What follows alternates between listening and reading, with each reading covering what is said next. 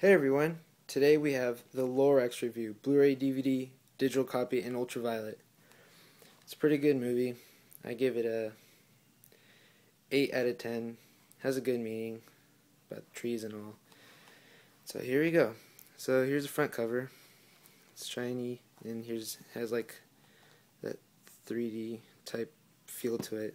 The letters bulge out and his mustache and everything. Here's the side of it.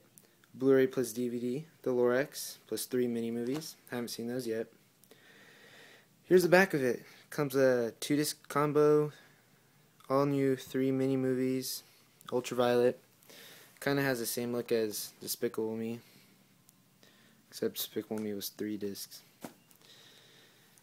So yeah, here we go. You take off the thing.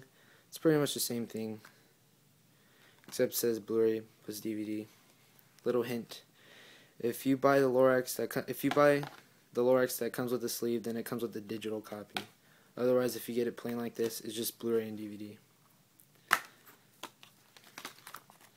So it comes with a digital copy in ultraviolet, and there's like little ads in there and stuff for Norman, and you get a dollar off a light bulb. So here you go. Here's a Blu-ray. And here's a DVD. Alright, there you have it. Your Lorax Blu-ray DVD digital copy and ultraviolet review.